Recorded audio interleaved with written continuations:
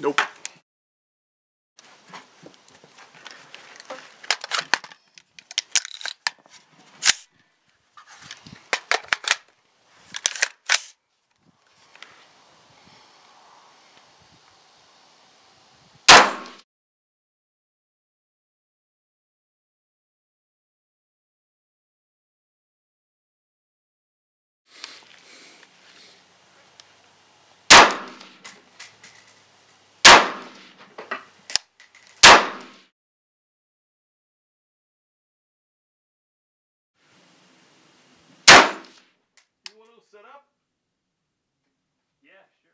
Okay.